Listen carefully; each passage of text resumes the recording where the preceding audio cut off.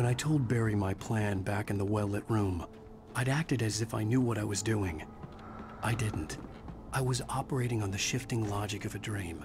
I had to fight my way to the lake through the horrors of the night. I had to flick an old battered light switch imbued with childhood magic. I had to write a happy ending to a horror story. I had to save my wife from the dark prison she was being held in.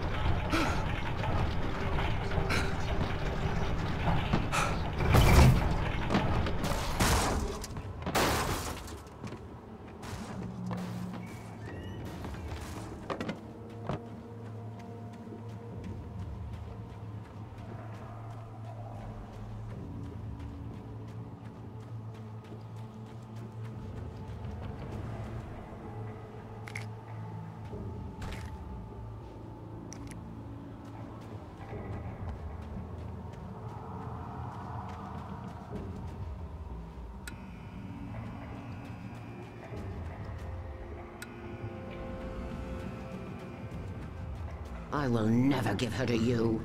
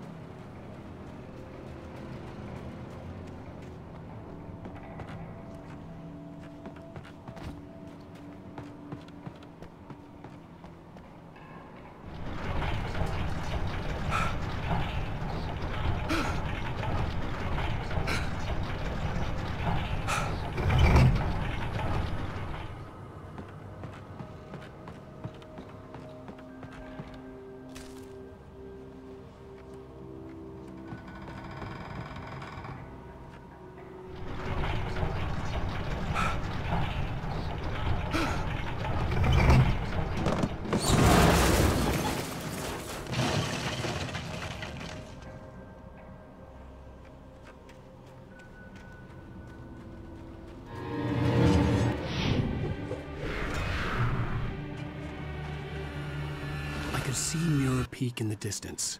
That's where Cauldron Lake was.